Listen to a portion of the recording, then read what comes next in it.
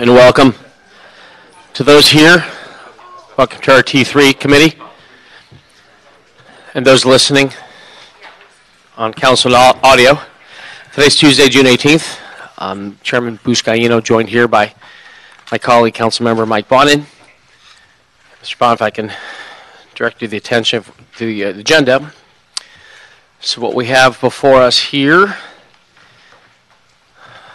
I would recommend we take on consent items 1, 4, 5, 6, and 7, unless you want to hold any on the desk. No, that's fine. Okay, we do have cards on all those items, so let's take those now. Eric Preven, come forward. Last call for Eric Preven. Oh, here you are. So you're going to have uh, three minutes, two minutes on all the items, and one on general public comment. Good afternoon. Thank you, uh, Councilmember Buscaino, Mr. Bonin, and uh, City Attorney Hong, who is present today.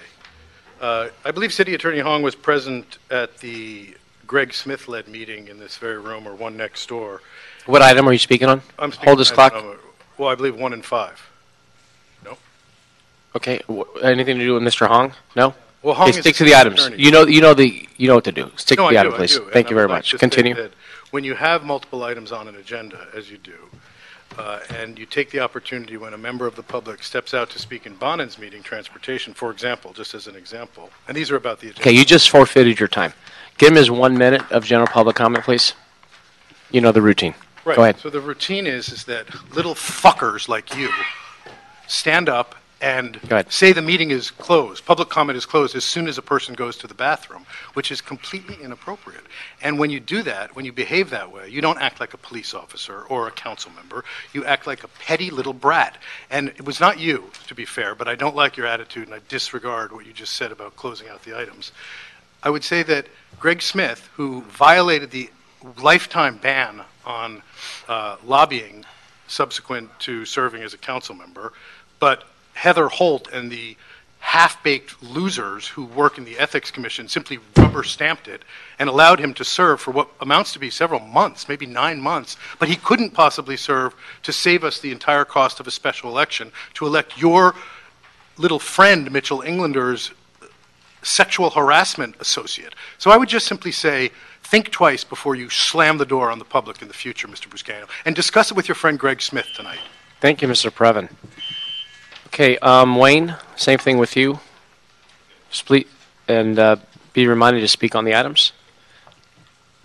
So you have two minutes of the item- all the items that you've pulled and one minute general public comment. So item number one is Diane Middleton of the Board of New Harbor Commissioners. The fucking cunt! No, and number one. We don't want anybody else, especially if she's fat. We don't want anybody else on the Board of Harbor Commissioners. Keep the cake away from the fat cunts. Number two, the industrial, economic, and POA. Fuck you. Item three is Bonin. The world airports, the world's worst fucking airport and the power outage. You see, this is what happens. First, you goddamn order a couple of kids on Amazon and they give you black ones by accident, and then he shuts down the fucking goddamn airport for not paying the router bill.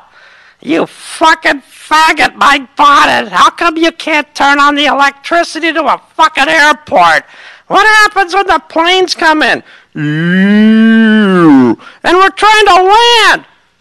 Help! Mayday! Mayday! And what the fuck happens? We don't have any lights. We don't have any fucking electricity in a fucking airport. Never heard of backup generators. Never heard of solar power. Never heard of fire pits involving gas, natural gas turbine, goddamn systems. Oh, you're gonna turn them off. You Mike Bonin, I'm Mr. Energy. I'm gonna turn off all the natural